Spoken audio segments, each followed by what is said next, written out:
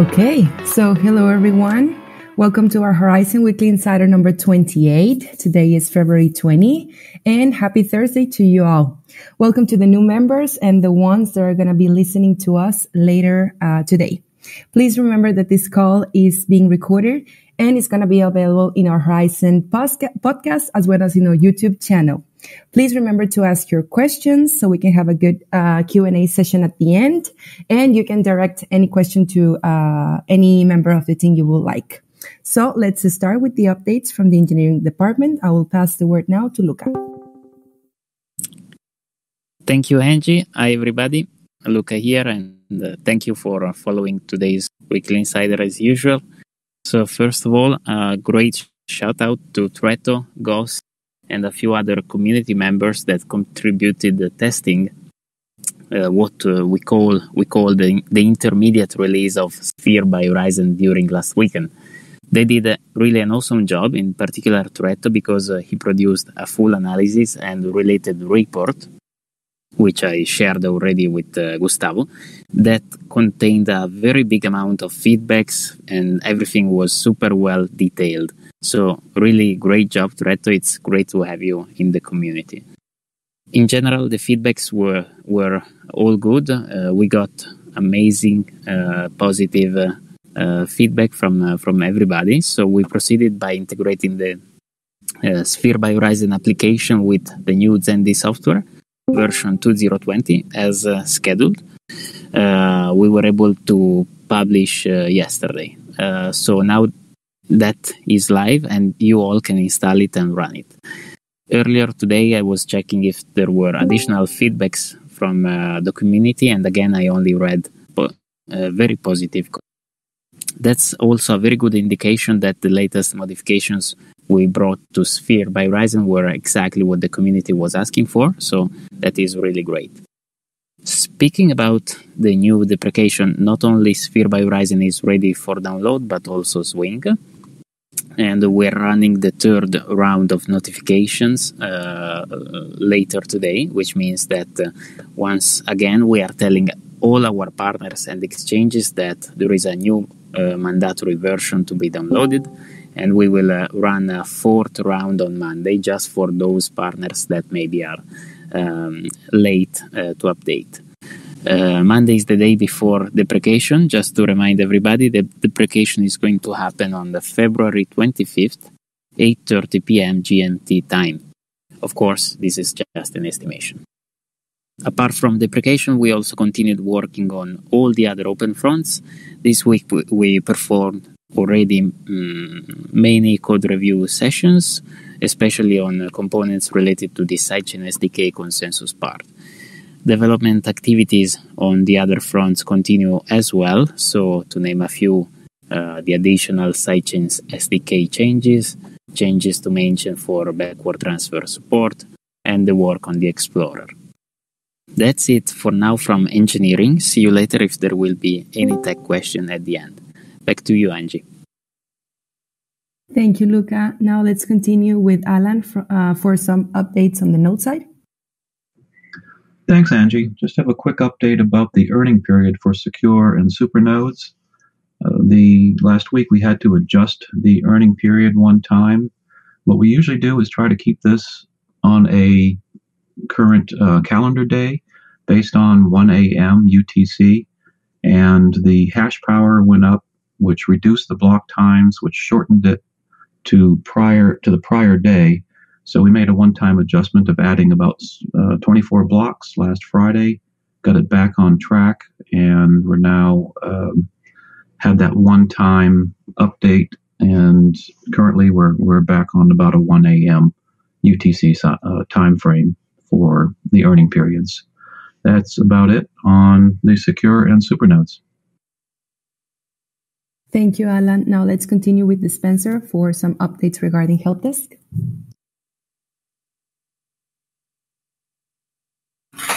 Happy Thursday, everyone. Uh, everyone has a cup of coffee that needs one, I presume.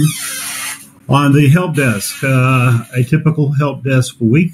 Uh, as usual, our tickets were dominated by tickets supporting users of the faucet. Uh, the metrics are published in the text channel, and uh, our user satisfaction has improved over the last seven days to 4.3 out of a rating scale of 5 with 23 user reviews. That's it from the user desk. Thank you. Thank you, Spencer. Let's continue with Gustavo uh, for UX updates. Hey, everyone. Good evening. So going back to support, I want to give a shout out to Cyrex for his continued Discord support. He's been doing an amazing job on that front. So from all the team, thank you, Cyrex, for all the effort. So on the faucet, uh, on the upcoming days, we are going live uh, with uh, additional register and login options. So we are going live now with Twitter and LinkedIn. And uh, next week we might go also live uh, with WeChat for our Chinese community. Uh, still on the faucet, we are working also on the admin dashboard, making several improvements there. And uh, another project that we are working, we are creating about uh, using WhatsApp business accounts for later integrate with our website. That so that's another project we are working, and we also resume, resume development on HD. And that's all on our side. Thank you, Gustavo. Now let's um, have Rowan for the BD updates. Welcome back, Rowan. Thank you, Angie. I think it'd be very, very unfair for me to provide any real update just now. So instead, I'd like to hand it over to Vano. And Vano can provide a bit of an update as to what he's been doing while I've been away. And I believe he's also got an announcement to make at the same time. Wait, so, Vano, wait, take it away. Hold on, Rowan. Rowan, you're saying you weren't working while you were out of office? I was obviously working, but very, very, very minimal work for the first time in years. Uh, so, no, I don't have a huge amount of public information I can share at this point, unfortunately. just kidding, just kidding. Hello, everyone. Welcome back, Rowan, and thank you. So we have a, a great update today. Uh, a very reputable exchange, uh, CoinEx, has decided to list Zen, and um, deposits are live as of today, February 20th, and trading will uh, open on February 26th, and withdrawals will open on March 10th. Uh, the trading pairs are uh, Zen BTC and Zen USDT uh, and they are also doing a launch promo for uh, our listing. Uh, I will put the link of promo in our weekly insider channel for you to read through it and decide whether you wish to participate. And apart from that, uh, we have several concurrent AMA offers, and I think soon we will finish the organizing part and announce the dates for our community to join. Apart from that, obviously we are pushing strong on BD front, but not always we have uh, the ability to do some public updates. So that's all from me. Welcome back, Rowan, and back to you, Angie. Thank you, Vano and Rowan. Okay, now let's have Lucy for some marketing updates.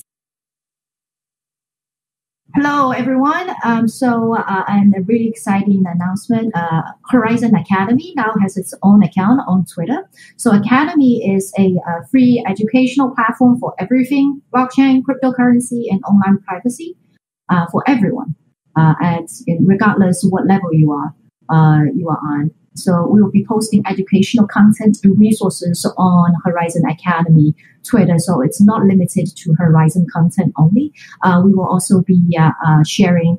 Uh, you know, uh, exciting events like you know giveaways and competitions because they are uh, in the in the future on that account. So please make make sure that you follow Horizen Academy on Twitter. So the handle is just at Horizen Academy. And then we still have a, a, a couple of active community giveaways uh, that you should join at least one of them. So one is, one is the uh, uh, giveaway for watching our YouTube videos, and the second one is the fan art competition, which uh, which is ending next week. So make sure that you join; you still have time to do so. Uh, we also have a couple of AMA events coming up soon, so please keep an eye on our social feed uh, for the announcement. Uh, and then our Node hosting guide page received an update, which will include a an calculator to calculate and estimate, um, you know, how much that you will be you will be rewarded by hosting uh, either secure node or uh, or Supernode, which provides uh, an easier tool uh, and then um, an easier way to understand uh, what it means to uh, to run a node uh, with Horizen. So if you don't see the change, the change should come in, it should it should come very very soon. And then we'll also be releasing updates on several of our other web web pages as well. so stay tuned. And that's it from me. Thank you. Pass it to you, Jonathan. Hey everyone, can you hear me okay? Very well. Okay, awesome. So this week we sent out a newsletter to a whole bunch of people about the uh, the new white paper that was released. It's great to see that now we have more people open the newsletter than two years ago we had on our entire list. So uh, very exciting and interesting and uh, really powerful growth on our email front. Um, in addition to that, uh, we have added two new people to our node hosting community page, which is horizen.global backslash node dash hosting. So if you want to have a third party host your node, uh, we have some good community discounts there. Uh, we'll be adding Pat Heyman uh, either this week or next week, as well as easy master nodes. I've been talking with uh, Tiago, and uh, uh, he'll be on there soon as well. So we'll have four really great options for you, and hopefully that will continue to grow. Um, as Gustavo mentioned, we're continuing to increase the number of ways you can use and log into the faucet. Um, and this week, we had in one day the highest number of visitors to the faucet that we've had in our entire history. So we are on a great upwards trend and we're continuing to set records. Uh, however, hopefully, this is just a start and we'll continue to see this increasing over the next days, weeks, months, and years. That's it for me. Thank you. Awesome. Thank you, Jonathan and Lucy. Now let's welcome Rosario for some product and engineering updates. Hi, everyone. And not much of updates. I've been traveling and will be in the Milan office tomorrow. So I am uh, looking forward to working with our engineering team and planning uh, the the follow-on steps for uh, post beta. So I know that uh, our our team is focused on on delivering beta and and working on that, but uh, the focus of our visit here is, is to plan what our first side chain is going to be and just uh, continuing on with our roadmap. Thank you. Thank you, Rosario. And now let's have uh, Rob for the final part. Thank you, Angie. Um, okay, so yes, I'm I'm in Milan right now. Super happy to be here. And uh, Danielle, if you're listening to this, uh, you should know that I had lunch today without any carbs. So it is possible in Italy, uh, and it was fantastic. So really looking forward to being here, and you know I'll talk about those priorities for what what's going on while I'm in town for the next month. Um, but let, let me uh, first talk about a couple of other things. So as Luca mentioned, we had some excellent feedback on uh, you know, preliminary users testing out the, the new Sphere updates. Uh, I love it. So I love the fact that now uh, our products are getting out there and we're getting you know phenomenal feedback. We're hearing terms like lightning fast, working perfectly. Um, so guys, thank you from the community for actually helping testing uh, you know the wallet. And this is our our operating you know uh, the way we're going to be doing business going forward. So we had some big lessons learned here, and I would say um, the summary is that we for sure want decentralization and you know decentralization in engineering as well. Um, but there's one thing that we have right now that we do really well is we have a, a ridiculously good engineering team in house.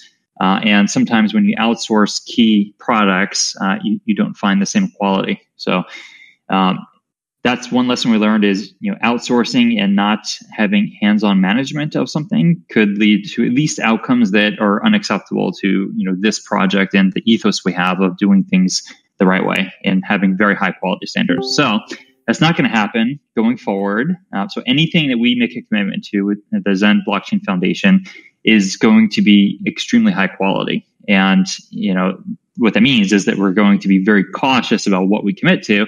Uh, but for sure, our wallets and when we commit to wallet wallets and other products going forward, we're going to make sure that they are released with extensive testing, released with you know uh, great code reviews, make sure the architecture makes sense, and so forth.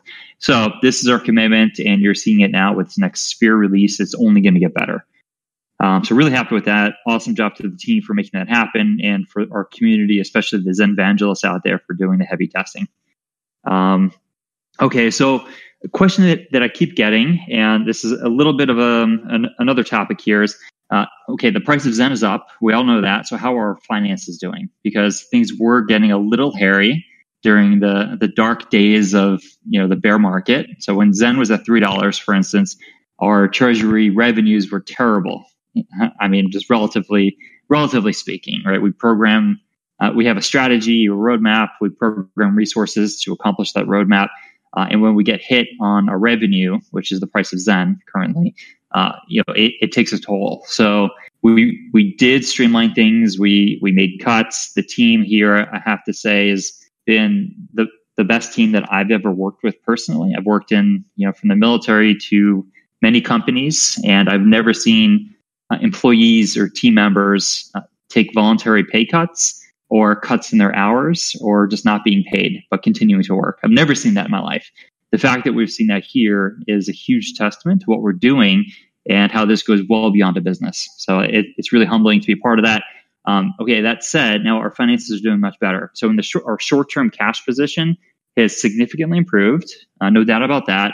Uh, what we're doing is we're paying down debts that were incurred during the crisis. So we, we you know, have we were lucky to have some organizations uh, continue to do work at risk and now we have to make sure that they're compensated for work that was done. Right. So we just need to kind of clean up our finances and everything is completely on track to making that happen.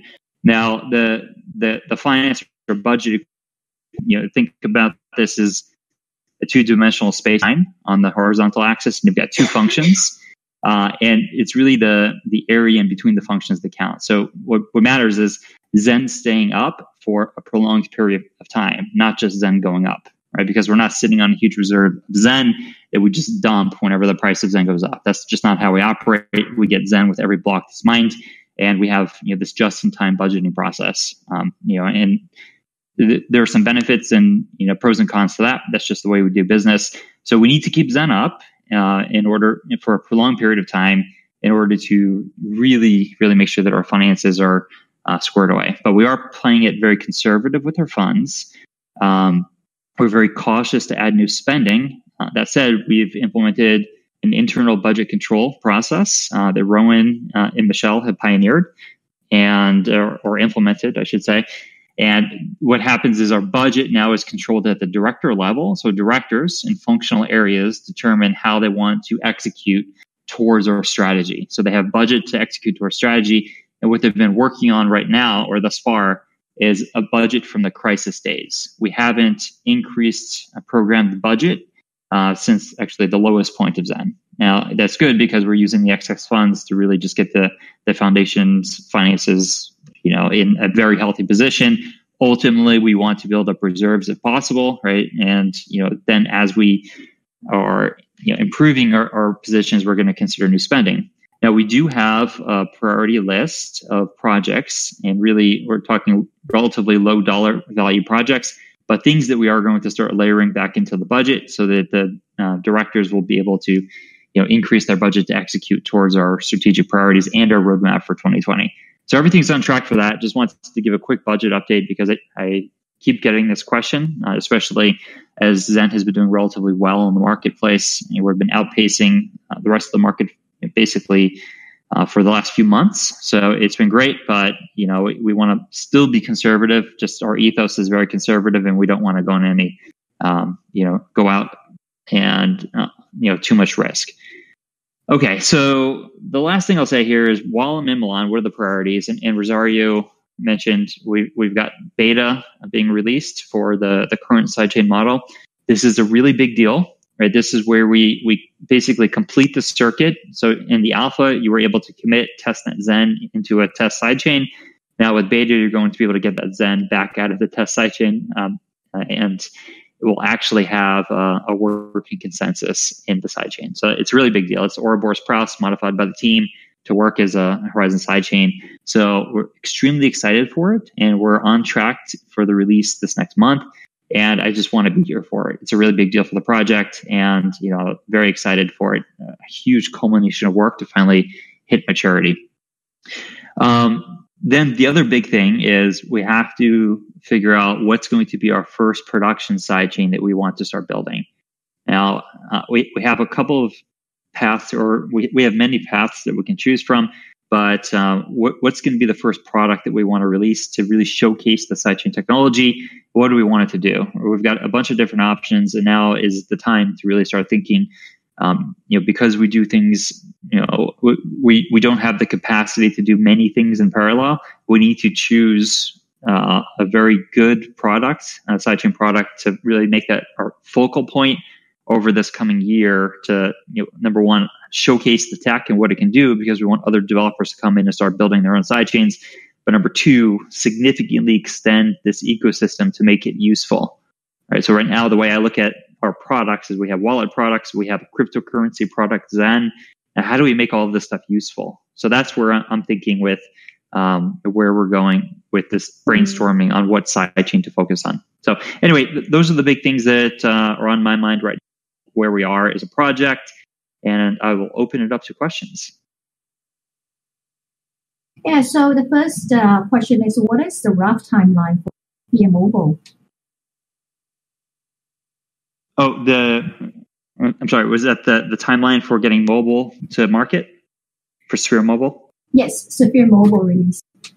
Yeah, so we and you know, uh, someone please jump in here if I'm uh, if I'm speaking out of turn here, but uh, honestly, we haven't um, we haven't programmed that in yet in terms of a specific timeline. So what we're doing now that we're we're taking Sphere in house is we started with desktop, and then we're going to turn our attention to mobile.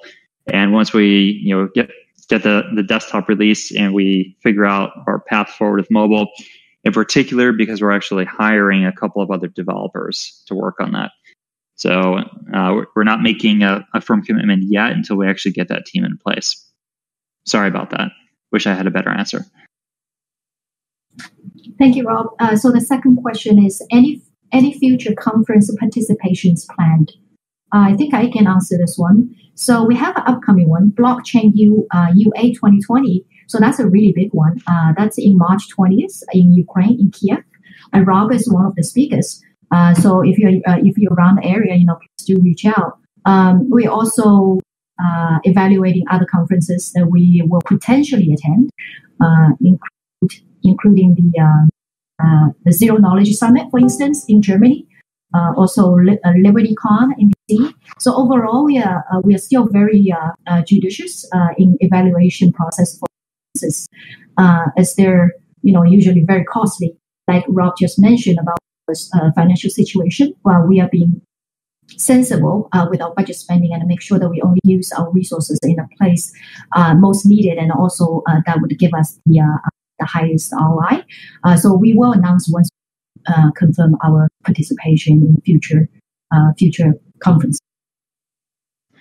And hey, I'll throw a teaser out there for anyone who can make it to Blockchain UA in, in Kiev. Is Alberto will be giving a joint presentation with um, Team Veritas from IOHK about Zendoo. So if you want to see that technical in-depth look at, at the new protocol, uh, that's the place to do it. There you go. I wish I could be there. Um, so the last question is, uh, what is, okay. Sorry, I was looking things. So what features will we get with regards to sidechains? We got a lot of questions about Sphere. People excited about. Did you say what features? Yes. With sidechains? Yeah. Uh, what features will Sphere get with regarding to sidechain? That's a great question. Uh, let me see. Who's the best person to answer that? Al- Alberto, um, do you want to take a stab at that on how you're thinking about modifying Sphere for the sidechain ecosystem? Oh, sure, Rob. Um, Okay, uh, in, in, reality, we are uh, already um, modifying Sphere to introduce uh, sidechain functionality. So we are currently working on uh, um, creating the possibility in Sphere to bootstrap a new sidechain. This means by posting a transaction in main chain that declares a new sidechain. And uh, let me say, allows to also declare the verification key associated to it and um, the custom fields that will be used for that specific sidechain. And moreover, uh, define the, um, um, let me say, the additional data that should be included within the certificate to validate the proof. Moreover, uh, I mean, beyond the sidechain creation, there would be also um, um, forward transfer. So you will be able from Sphere to send coins uh, from main chain to sidechain. And uh, um, for example, one of the functions that we are looking at, and um, let me say bookmark or mark as preferred some of the sidechain that you follow, and uh, um, being able to also uh, obviously receive back from uh, from the sidechain some coins and see your balance updated in Sphere. Uh, but this is a, um, a first step. Um, the next step will be uh, allowing the extension of Sphere to be, uh, let me say, uh, extended in terms of functionality for specific sidechains. So, what does this mean? This means having the possibility for a sidechain user uh, to interact with the sidechain. I mean, uh, using Sphere. That can be, uh, for example, exchanging coins, but not only. I mean, there can be a specific transaction in a specific sidechain that would be uh, managed uh, using Sphere, and so the sidechain developer uh, maybe uh, would want to extend sphere to make it more usable and from a user perspective. And so, uh, for this, um, in, in, for going in this direction, we are um, also looking at, let me say, structuring uh, the current implementation of Sphere to be more easily uh, extensible, extendable uh, for the sidechain developer. And that's almost everything I have to say. Thank you, Alberto. So these are the top three questions of the day. Uh, there are more questions that we don't have time to answer in this live questions and answer them in a uh, weekly side chat channel here on Discord. Thank you, guys. Uh, back to you, Angie. Awesome. Thank you, everyone, and have a great day. And I hope to see you guys soon. Bye bye.